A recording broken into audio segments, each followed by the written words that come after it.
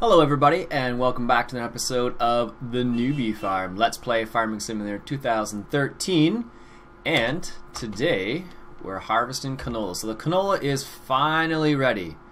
And as you can see I've done a little bit, of, I've harvested a little bit of the canola already. So I'm going to go ahead and get this guy started up again. Once he's all ready to go here. There we go. Then I'm going to get this guy going. There we go. And what I did was I planted this field with barley because I wanted the straw uh, primarily. So I harvested, I took off the rest of the oats off camera, and now it's planted with barley, so we can take that off whenever we, uh, whenever it's ready, I guess. So what I'll probably do is I'll plant this back as canola, maybe or maybe something else. I don't know. We'll see. Probably canola again because it's a high. Yeah, probably canola. The only other thing that's really worth a lot is sunflower, and I don't have the right header for that to do sunflower. Yeah. Silage sugar beets. So, one of the interesting things that happened the other day, or actually this morning, I was able to interview my farmer friend about silage um, so if you're interested in learning about silage in real life and some of the things about that, it is on the YouTube channel now as well. Um, so that is pretty cool. Lots of interesting things about silage. Um, we actually talked about silage a little bit and baleage and haylage. Uh, there's a difference. I still have a hard time figuring it out, but uh, if I remember correctly, haylage is basically when you cut the cut your hay and then chop it up and put it into a change it into silo, uh, change it into, put it in a silo. And then baleage is basically when you wet wrap hay. And then silage is usually with corn, or you can do it with sorghum as well. I don't actually know if you can do uh, silage with sorghum in this game. I'm not sure. You might be able to. So we're down to seventy eight hundred dollars. Actually, a little bit less than that now. Seventy seven nine seven. Strangely enough and it's probably because I have a hard worker there. But uh, what we have right now is where is it? Oops, not finances. So we have 2,999 canola.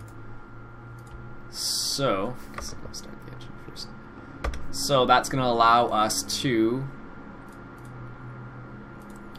Uh, that's going to allow us to sell some of that, and we are going to get some nice change from that. Because I think last time the price was something in the space of I want to say it was 420 something.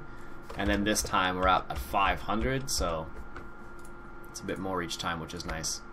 So we're going to be able to make a bit more money from that which is going to be cool uh, and that'll allow us to do some more things. I think what I'll do is I will probably buy another tractor.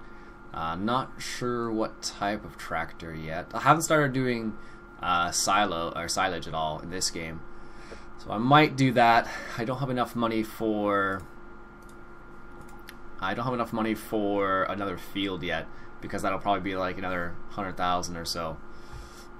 So what I'll do is I will probably buy another tractor uh, maybe one of the small ones again. Uh, so then we can get some action going when I'm not doing anything else. So I'm going to keep the forge, the self-propelled forge wagon for now. And what I'll do is I was thinking about getting, uh, where is it? Not one of the old ones. Not one of those ones. One of the other Fords. Maybe the front loader, although I don't need a front loader yet. Uh, I haven't decided yet. Um, maybe go with something like this as a as just a transporter who takes the the grain from the field to the to the tipper point. Um, not sure what else. The tractors I really like to use. I can't afford yet. These are my favorites right here. The 6170R. Uh, really solid mod uh, for the that was made for the mod contest.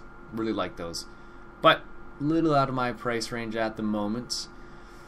Uh, one of the other tractors. I could get one of these. This is 65 horsepower. I actually haven't bought this, so I don't know what it looks like. It looks, in the picture, it looks kind of, kind of okay, not amazing. So I'm a little reluctant to buy that. But I do know that uh, there is a this one. The Renault is a nice looking tractor, although it does damage crop as you drive over things. So I'll have to consider that. So I might. This tractor actually doesn't have enough horsepower to do the seeding, uh, but it does have enough horsepower to pick up and drop off the grain. But with Courseplay, it would tear up the field like there's no tomorrow, so I probably won't pick that up for that reason. Uh, it's good for like transporting some things as well, so that's something to consider. Uh, this one I don't know has 65 horsepower, a little on the low side. Um, yeah, I don't know. I'm gonna need something probably around, ideally around 100 if I'm really lucky. Like this one has 94. I might. That's a little expensive for us right now, though. But it would be a nice addition. So that would be able to. Uh, it wouldn't be able to seed. It doesn't have enough horsepower to seed, but it does have enough horsepower to do some other things. But if I'm just using it as a transporter, maybe one of these will work fine. Actually, we'll see. We'll see. These are nice tractors too, actually, but they're expensive for what you get. Like 20,000 for 61 horsepower? What's the point of that? I can get one of these. I actually don't know how much horsepower these have. I wish I knew. Um, it doesn't actually say on them how much horsepower they have, which is kind of unfortunate because I'd like to know that. Oh, where's my guy? Um, yeah, I like to know because I like to try. I like to try and stay a little realistic. So I actually don't know how much horsepower that tractor has. Uh, I suppose I could look it up actually. A Ford 8340, 97. I'm guessing it has around 150, 200 horsepower. Uh, but I don't know Ford's models very well. So it's possible it has less than that actually. So a little unfortunate. Uh, but we are growing barley over here. I'm looking forward to that because I can feed barley to the pigs, which is nice. So they can start producing some pig goodness as well. One thing I noticed actually is if the there's zero productivity with the pigs, uh, it doesn't seem like the liquid manure goes up. So yeah, they actually have to be productive to produce liquid manure, which is kind of interesting. So I could actually just give them water, and I guess they would be productive and still produce liquid manure. But yeah, thought that was a bit strange. Yeah, so if we look at our equipment right here, like this no-till seeder actually needs about I think it's like 210 horsepower, which I'm pretty sure our tractor has, and this Abbey manure spreader uh, actually needs, I think, another, I think needs 180. I want to say it is. Uh, it doesn't say. Uh, yeah, oh, 130. So I need something in 130 plus area. If I looked at the, not mods, but the standard, uh, looking for Horsch. I think that's how you pronounce that. And I think in here it'll say how much horsepower. No, it doesn't. Hmm. Thought it did. Actually, I know what it, it'll say in the it'll say in mods. And uh, hmm, that's weird. Abbey, Agrivy, Orson. Where's Horst? Horst, I think it's pronounced. I don't know German very well, so I'm not a very good person to try and say these. I guess this would be quicker if I did this way. Uh, I need a sower. For sowing seeds, tedders, windrows, mowers, slurry, manure, sprayer, fertilizer, sowing. Oops. One too many. Uh, this is for the, yeah, 125 to 190. Actually, that's not too bad. Um, so it needs about 190 at the top end. Uh, that's MR stands for the more realistic pack, so just lets you know how much horsepower you need and you actually do need to buy a tractor that's appropriate. Now, because I'm playing on this map particularly, and I want to use the different fruits, I'm not using this because um, I'm not using that because I want to use the other fruits basically, and that's not designed to use it. So, almost done with the canola. Like I said in the past, it's a really nice model that they use in this particular map. I like it a lot. So, it's pretty good. How much canola do we have now? 299 canola still. And he has 2,900 there, so it's going to be a good yield, I think. Let's go take a sip of coffee. I actually don't know if, like, you know how you look on the map and it's like a, it has greens. In those case, I think it's just the first green. I don't know if you if the yield goes down or up based on when it's ready to harvest. Like, if it starts to wither, it starts to get closer to the withered stage. Does it lose yield? I don't know. That would be kind of cool if they actually incorporated that, but I don't think they do. So, a little unfortunate, but whatever. I still have this. I want to keep this, like I said, for my barley, but I always want to sell it as well, just because I'm like, well, it's just sitting there and I'm not using it, so. And mainly because I don't make enough money is what it boils down to.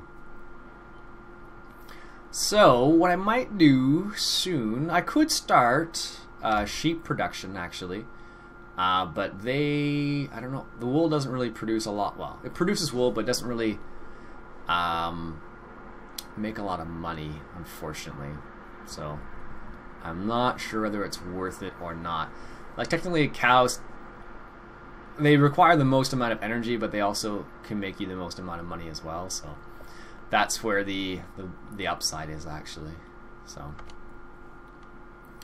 um, I'm not gonna run to the to the farm shop so I can drop these eggs off, but I am carrying 220 eggs, so I think that's a couple thousand. Um, so I need to keep in mind keep that in mind. So once this is done, which is going to be soon, I'm going to I'm going to sell the canola, make some money, and then go from there. Like I said, maybe another tractor. Not sure yet. I'd like to get another field so I can plant something else. But uh, actually, let's go check to see how much this field is over here. I'm pretty sure this field is probably... How big is it? Yeah, it's pretty big. Uh, I'm going to say 120, let's say. Oh, it's only 100. That's not terrible, I guess. I can't afford it, mind you, but it's 100. And if I can get, how much is this field back here? If I can get field 11, um, this one might be worth more or less, probably the same, less, a bit less, 80,000. I probably won't get $80,000 worth of, because I think last time I sold it, it was somewhere in the area of, that's too loads, so maybe 40,000 I might get all together, something like that. Something in that range. So I might be able to get one of those fields, and then I can do uh, maybe canola. Actually, what I might do if I did that, if I was able to get this another field, what I would do is I would make uh, field uh, field 10. I'd make field 10 a, a hay field, and then I'd make field 11 another uh, field of some sort. So almost there. Driver's on his way, apparently.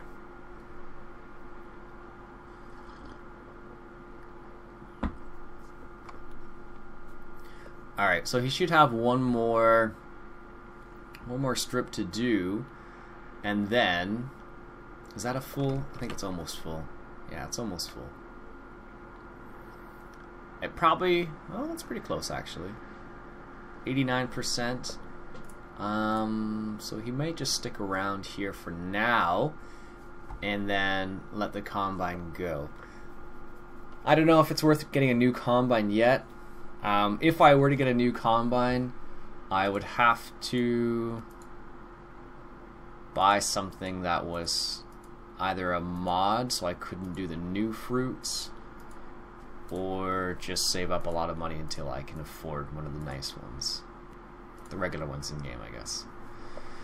Because I could get, that's too expensive, the Lexion. They only do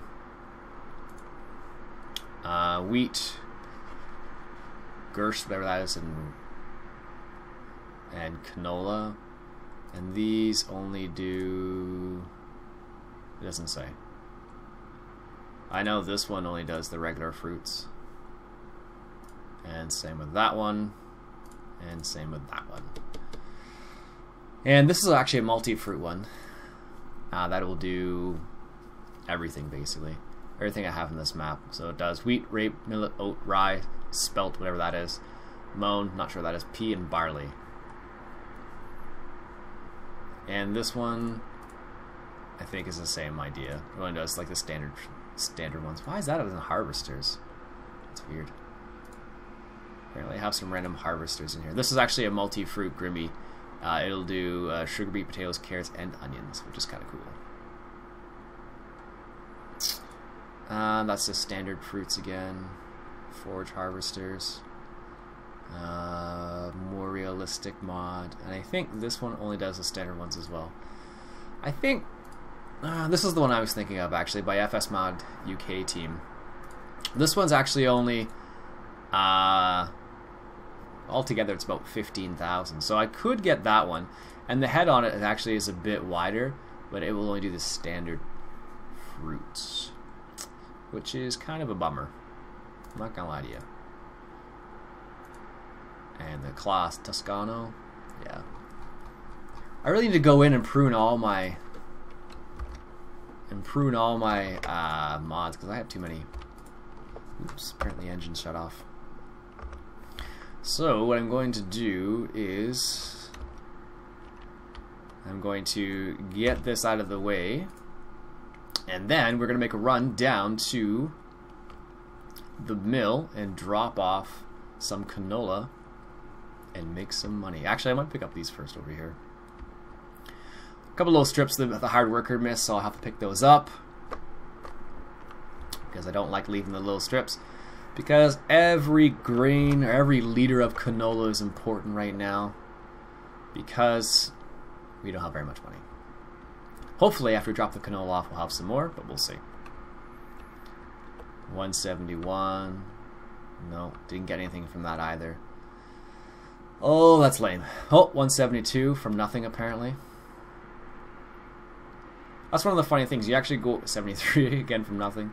You can actually go over some areas that there's nothing and you'll get some grain again, which is kind of strange. Canola is really bad for that in real life. It'll just drop all over the place. And then you get volunteer canola. I think I've mentioned that before, but... I'm just going to back up here and drop off this canola in the trailer. Turn this off, get in here. He's at 92. So what I'm going to do is I'm going to fill him up first and where am I going here? Am I going the right way? No. Totally going in the opposite direction that I need to go. Great job. So like I said, I'm gonna fill up with fill him up with fuel, grab some more canola so I get a full load, and then we'll go from there. Actually, I might I could up, upgrade the tipper, I suppose, but that's not going to help very much either. So canola is right over here, so he's going to go pick up the canola. Where is it? Just over there. Whoop, got to be careful. Uh, where am I here? Pick up the rest of this canola. All right there, perfect. And once it's full, you can just drive through other things. It's fine, but I never liked that, but you can, so. In my mind, I always thought what would happen is if you drove over something like that, you would, uh, you would pick up that fruit as well, but, or it would change or something. So as that's filling up, I'm going to jump over here and grab the eggs. So I got 23 eggs sitting over there. Uh, no wheat and no water for these guys. Can't hear the rooster because the sound's not on. That's how I roll. Tend to watch television as opposed to listen to the game sounds, but that's just me. Ugh, this is hurting me. Alright, so let's go for a truck down to the mill. Uh, there is, I believe, there is a a way you can get over here. Is this it? I think this is it. Oh no, this goes not where I want it to go. I think I've done that before in the past. And I'm backing up into my trailer. It's gonna do a little cheating here. Because I don't feel like driving all the way around. because I think those fences are actually solid. There we go. So I'm to drop us off at the mill because I think the mill has a good price for canola. Where am I here? Here we are. Canola, the bakery 400, freight yard's 526, and the mill it's 526. So hopefully we'll get a good return on our investment here. So I'm just going to go straight for the road. And I think, I don't know how, it, how much it tops out at. It might, uh, hmm, I could potentially wait a bit longer, but it may go down and it may go up, so I don't want to take the risk. So I'm just going to drop this off here. I could drop off the oats too. Um, 182 at the bakery. 162. Uh, the bakery is a little bit far away, but might be worth it. We'll see. How much oats do I? How many oats do I have? Uh, nope. Here we are. We have. Where is it? Eggs productivity, silage straw, slurry manure, oats. 23,000 oats. Oh, okay, that's quite a bit actually. So we may sell that. Don't have much canola, but it's a low yield, high profit fruit, which is good for us. Kind of. Alright, let's see. We're at 5,700.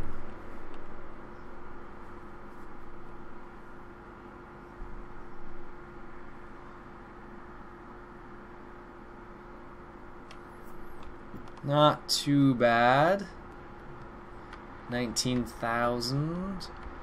Not quite enough for a new... Well, I could get a new tractor still, but I don't know if it's worth it still. I need to start waiting for great demands, but...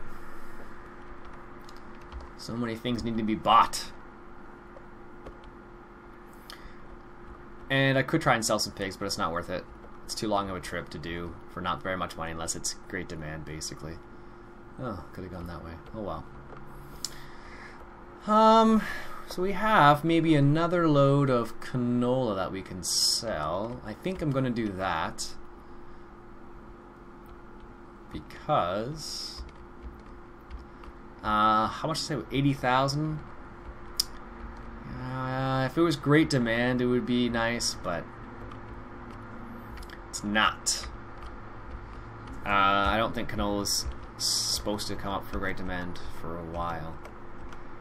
Uh, I don't even know what mod that actually tells you um, about the great demands. I'm not sure where I got it from. I think I just downloaded a pack and I don't know where it actually came from. But it's nice to know.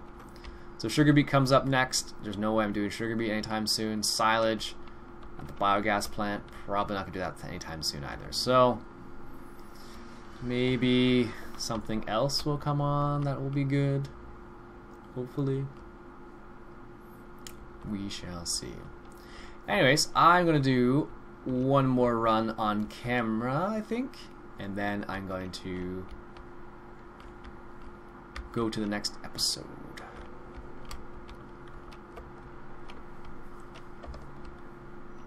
So not quite, only a half load of canola.